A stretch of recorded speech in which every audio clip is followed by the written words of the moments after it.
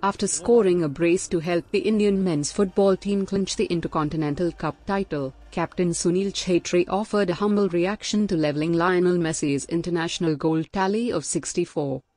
Chhetri's two goals drew him level with Argentina's star striker Messi and placed him next only to Portugal's Cristiano Ronaldo on the list of active players with most number of international goals.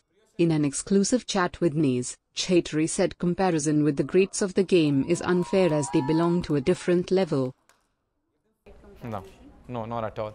The ones who are doing it, uh, sure, I do it for five seconds, be happy, but then don't take it too seriously because there is no comparison. Ronaldo and Messi are different level altogether. There is no comparison whatsoever. The only thing that makes me really happy is that I've scored goals for my country, and the only thing that makes me really, really proud is that I play for my country.